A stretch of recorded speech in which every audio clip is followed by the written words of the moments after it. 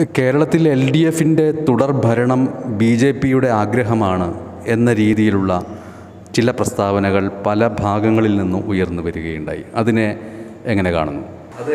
അതിൽ മനസ്സിലായി. ഞാനത് നന്നായിട്ട് ഉൾക്കൊണ്ടുകൊണ്ട് തന്നെ പറയുവാണ്. അതിൽ ഹിറ്റ്ലറുടെ കാലത്ത് നിമുല്ലി എന്ന് പറയുന്ന ഒരു ചിന്തകൻ പറഞ്ഞു വെച്ച വാക്കാണ് എനിക്കതിന് പറയാനുള്ളത്.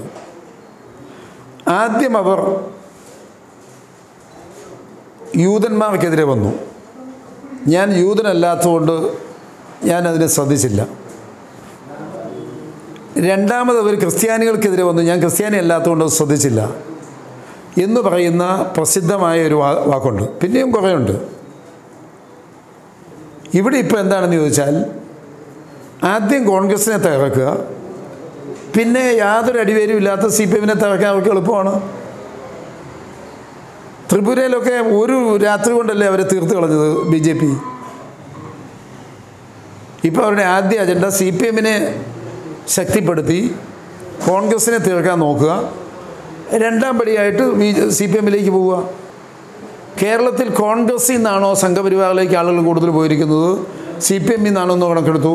ആ കണക്ക് സത്യസന്ധമായി എടുത്താൽ സി പി എമ്മിൽ നിന്ന് പോയതിന്റെ പത്ത് ശതമാനം പോലും കോൺഗ്രസിൽ നിന്ന് സംഘപരിവാറിലേക്ക് പോയിട്ടില്ല.